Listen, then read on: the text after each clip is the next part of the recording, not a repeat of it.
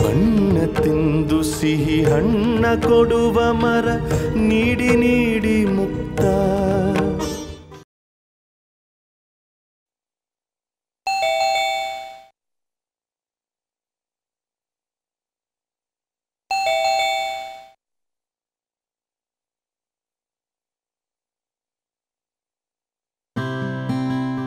ಏ ಕಲ್ಯಾಣಿ ಇದೇನಿದು ಸರ್ಪ್ರೈಸ್ ನಿನಗೆ ನನ್ನ ನೋಡಿ ನಿಜವಾಗ್ಲೂ ಸಂತೋಷ ಆಗುತ್ತೋ ಇಲ್ವೋ ಅಂತ. ಸಾಕು ಸುಮ್ಮನೆ ಮತ್ತೆ ಆಚೆನೆ ನಿಲ್ಸಿ ಮಾತಾಡಿಸ್ತಾ ಇದೆಯಲ್ಲ ಅಯ್ಯೋ ನೀನು ನೋಡಿದ ಎಕ್ಸೈಟ್ಮೆಂಟಲ್ಲಿ ಮರ್ತೇ ಬಿಟ್ಟೆ. ಬಾ. ಬಾರೆ ಕೊಡು ಬ್ಯಾಗ್ನ.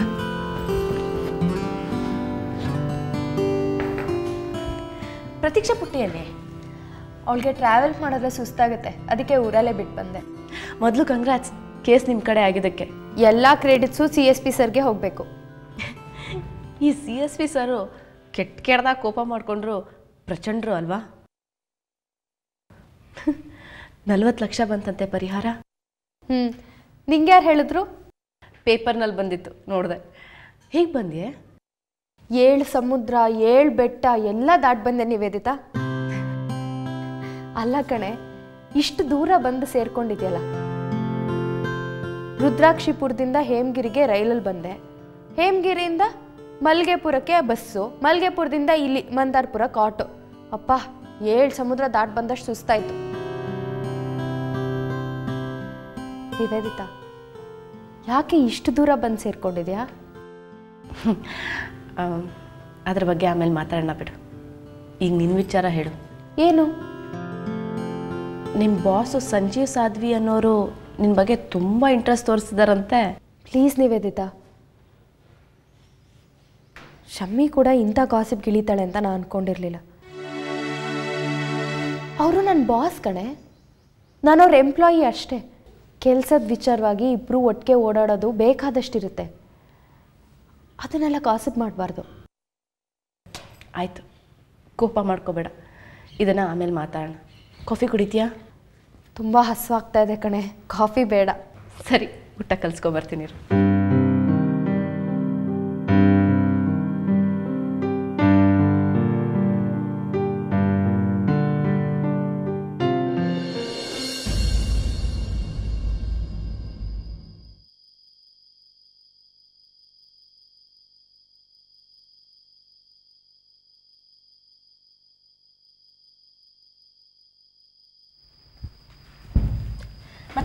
ಏನು ವಿಷಯ?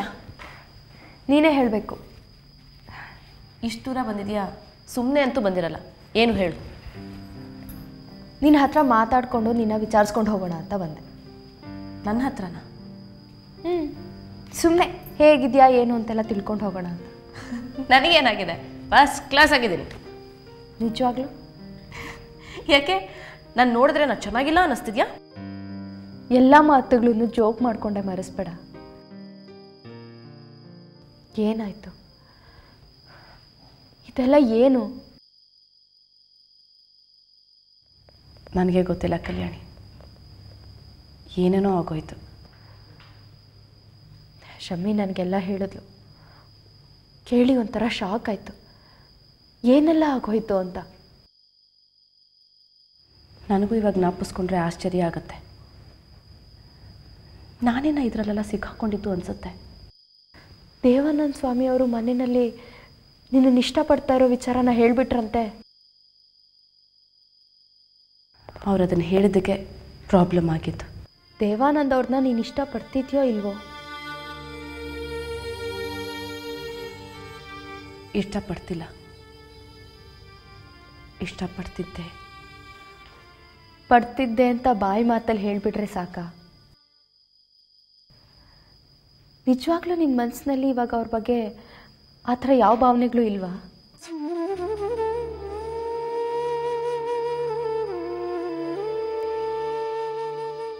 ಉತ್ತರ ಕೊಡೋದು ಕಷ್ಟ ಅಂತ ನನಗೆ ಗೊತ್ತು. ನಿನ್ನ ಮನಸ್ಸಿಗೆ ಎಷ್ಟು ಗಾಯ ಆಗಿದೆ ಅಂತಲೂ ನನಗೆ ಗೊತ್ತು. ನೀನು ಇವಾಗ ನಿಂತಿರೋ ಜಾಗದಲ್ಲಿ ನಾನು ನಿಂತು ಆಚೆ ಬಂದವಳು ಅದಕ್ಕೆ ನಿನ್ನ ನೋವೇನು ಅನ್ನೋದು ನನಗೆ ಅರ್ಥ ಆಗುತ್ತೆ. ನಿನ್ನ ಹತ್ರ ಮಾತಾಡ್ಕೊಂಡು ಹೋಗೋಣ ಅಂತಲೇ ಬಂದೆ. ಆದರೆ ಒಂದು ಮಾತು ಹೇಳ್ತೀನಿ ನಿವೇದಿತಾ ಈ ಇಷ್ಟ ಕಷ್ಟ ಎಲ್ಲ ಮನಸ್ಸಿನ ಮಾಯೆ ಅಷ್ಟೇ.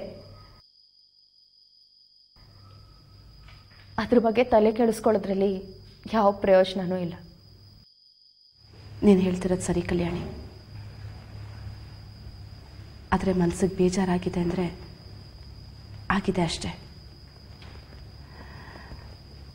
ಅದು ನಮ್ಮ ಕಂಟ್ರೋಲ್ನಲ್ಲಿ ಇರಲ್ಲ ಅಲ್ವಾ? ಇಲ್ಲ ನಿವೇದಿತಾ, ಎಲ್ಲ ನಮ್ಮ ಕಂಟ್ರೋಲ್ನಲ್ಲೇ ಇರುತ್ತೆ. ನಾವು ಮನಸ್ಸು ಮಾಡಬೇಕಷ್ಟೆ. ನಾನು ಮಧುನ ತುಂಬ ಇಷ್ಟಪಡ್ತಾ ಇದ್ದೆ. ಅವನಿಲ್ಲದೆ ಇದ್ರೆ ನನ್ನ ಜೀವನ ಅರ್ಥನೇ ಇರಲ್ಲ ಅಂದ್ಕೊಂಡಿದ್ದೆ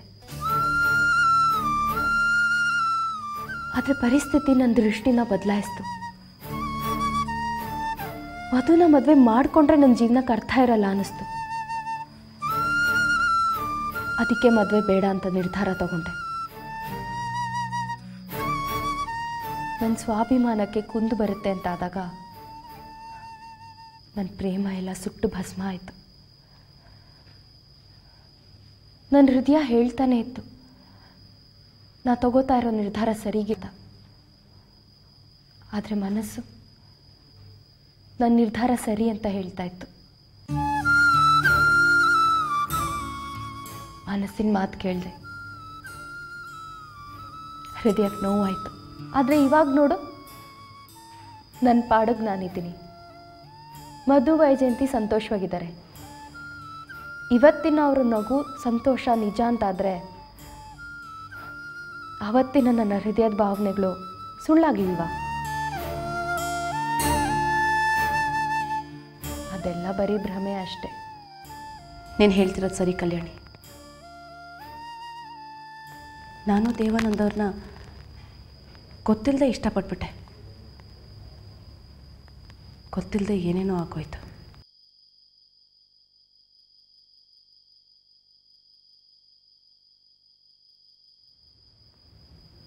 ದೇವಾನಂದವರು ತುಂಬ ಒಳ್ಳೆಯವ್ರ ಥರ ಕಾಣಿಸ್ತಿದ್ರು. ಆದರೆ ದೇವಾನಂದವ್ರ ಬಗ್ಗೆ ಸತ್ಯ ಗೊತ್ತಾದಾಗ ನಂಗೆ ತುಂಬ ಹರ್ಟ್ ಆಯಿತು ಕಲ್ಯಾಣಿ.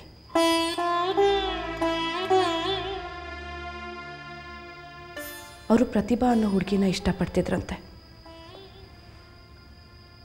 ಆ ಹುಡುಗಿನೂ ಇವ್ರನ್ನ ಇಷ್ಟಪಡ್ತಿದ್ಲಂತೆ.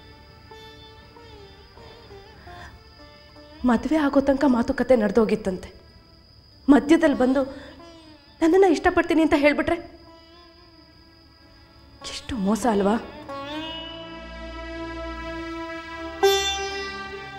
ನಾನು ನಂಬಿಟ್ಟೆ. ನಾನು ಅವ್ರನ್ನ ಇಷ್ಟಪಡಕ್ಕೆ ಶುರು ಮಾಡಿದೆ. ಆದರೆ ಸತ್ಯ ಗೊತ್ತಾದ ಮೇಲೆ ಎಷ್ಟು ಹರ್ಟ್ ಆಗ್ತಿದೆ ಗೊತ್ತಾ?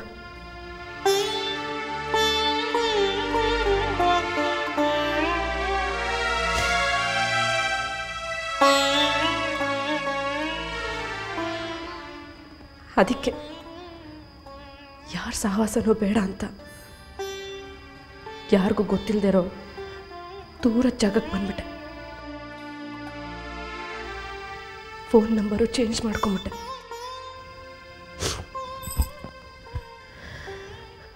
ಹೃದಯಕ್ಕಾಗಿರೋ ಗಾಯನ ನಿಧಾನವಾಗಿ ವಾಸಿ ಮಾಡ್ಕೋತಾ ಇದ್ದೆ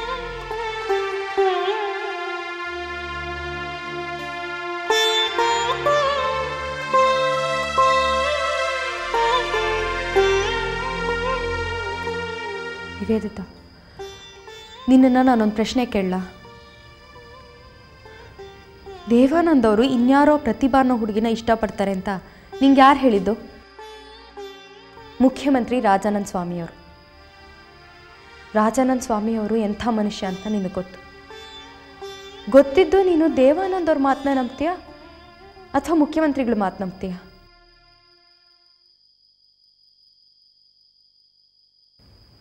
ಈ ವಿಷಯನ ನಾನು ಯೋಚನೆ ಮಾಡಿಲ್ಲ ಅಂದ್ಕೊಂಡಿದ್ಯಾ ಕಲ್ಯಾಣಿ? ದೇವಾನಂದವರು ನನಗೆ ಫ್ರೆಂಡ್ ಆದ ಹೊಸರಲ್ಲಿ ಒಂದಿನ ಬಂದು ನಮ್ಮ ಮನೇಲಿ ಬಚ್ಚಿಟ್ಕೊಂಡಿದ್ರು. ಏನು ವಿಷಯ ಅಂತ ಕೇಳೋದಕ್ಕೆ ಹೈಕಮಾಂಡ್ ಮೆಂಬರ್ ಶಿವದಾಸ್ ಅವ್ರ ಮಗಳು ಪ್ರತಿಭಾ ಅವ್ರನ್ನ ಕರ್ಕೊಂಡು ಮದುವೆ ಮಾತುಕತೆಗೆ ಬಂದಿದ್ದಾರೆ ಅಂತ ಹೇಳಿದ್ರು. ಅವರಿಂದ ತಪ್ಪಿಸ್ಕೊಳ್ಳೋಕ್ಕೆ ನಾ ಇಲ್ಲಿಗೆ ಬಂದಿದ್ದೀನಿ ಅಂತ ಬೆಳಗಿಂದ ಸಂಜೆ ತನಕ ನಮ್ಮ ಮನೇಲಿದ್ರು. ಮೊಬೈಲ್ ಸ್ವಿಚ್ ಆಫ್ ಮಾಡಿಕೊಂಡು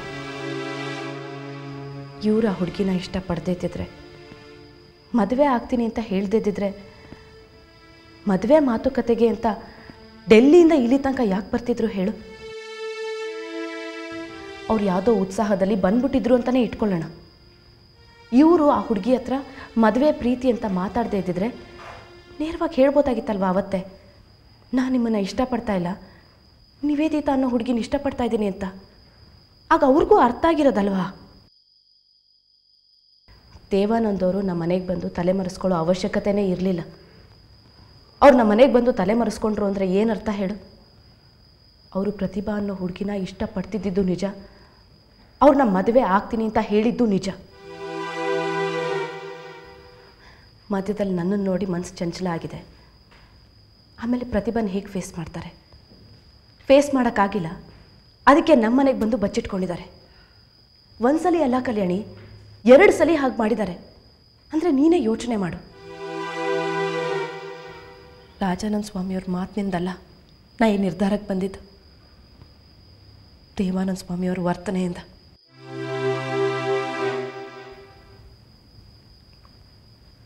ಇಲ್ಲ ಕಲ್ಯಾಣಿ ತುಂಬ ಹರ್ಟಾಗಿದೆ. ಅಪ್ಪ ಒಂಥರ ಮೋಸ್ಕರ ಆದರೆ ಮಗ ಇನ್ನೊಂಥರ ಮೋಸ್ಕರ.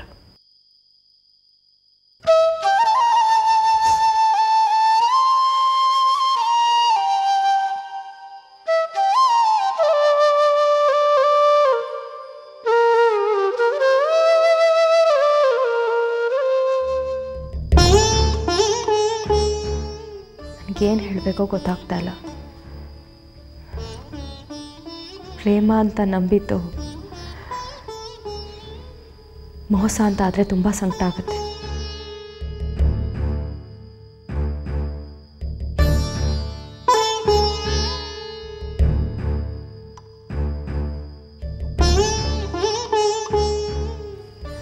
ಬದುಕು ಇಲ್ಲಿಗೆ ಮುಗಿಯಲ್ಲ ನಿವೇದಿತ?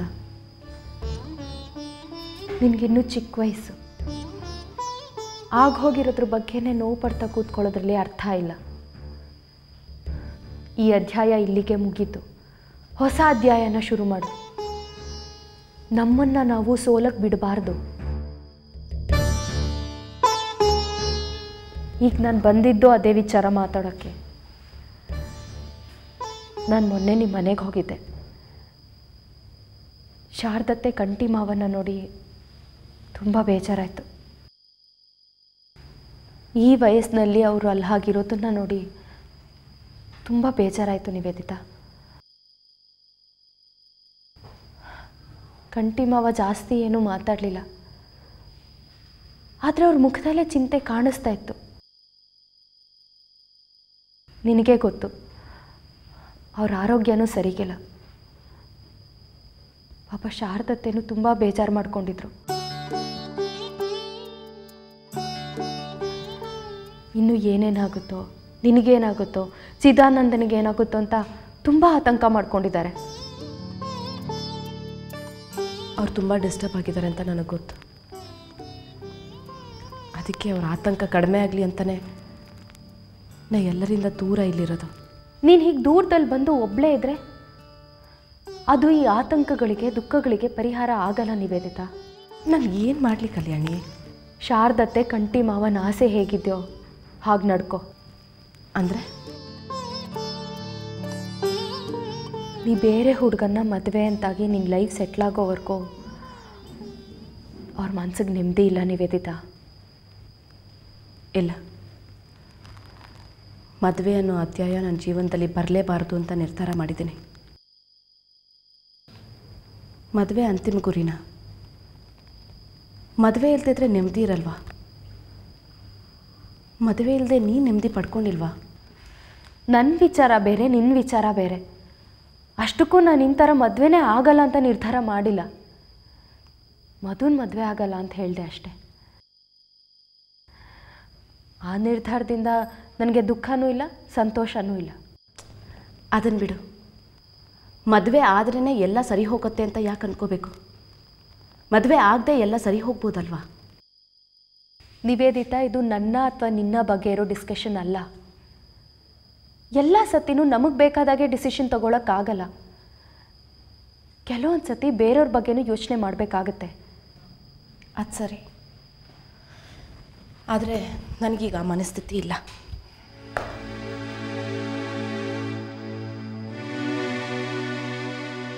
ಮನಸ್ಥಿತಿ.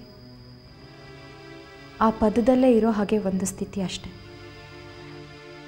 ಅದನ್ನು ಸರಿ ಮಾಡ್ಕೊಳ್ಳೋದು, ಬಿಡೋದು ನಮ್ಮ ಕೈಯಲ್ಲೇ ಇರುತ್ತೆ ಅಲ್ವಾ? ನಿನಗೆ ಬುದ್ಧಿ ಹೇಳುವಷ್ಟು ಯೋಗ್ಯತೆ ನನಗಿಲ್ಲ.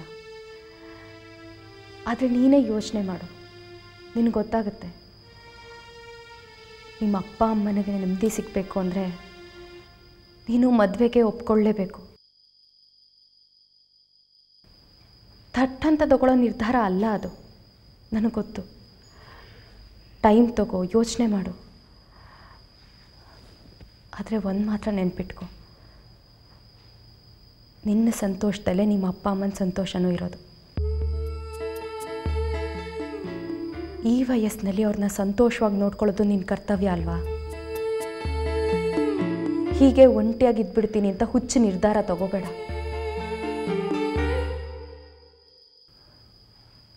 ಒಂಟಿತನ ಅನ್ನೋದು ಕಲ್ಪನೆಯಲ್ಲಿ ನೆಮ್ಮದಿ ತರುತ್ತೆ ಅಷ್ಟೆ. ವಾಸ್ತವದಲ್ಲಿ ಯೋಚನೆ ತರುತ್ತೆ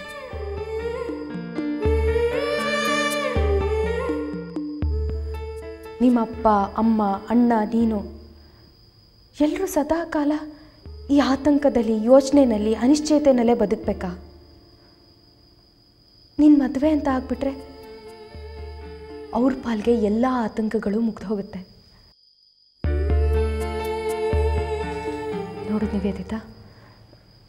ನಿನಗೋಸ್ಕರ ಅಲ್ಲದೆ ಇದ್ರು. ನಿಮ್ಮ ಅಪ್ಪ ಅಮ್ಮನಿಗೋಸ್ಕರನಾದರೂ ನೀ ಬೇರೆ ಹುಡುಗನ ಮದುವೆ ಆಗಬೇಕು. ನಿಮ್ಮ ಅಪ್ಪ ಅಮ್ಮನಿಗೆ ನೆಮ್ಮದಿ ಕೊಡೋದು ನೀನು ಮುಖ್ಯ ಅಲ್ವಾ?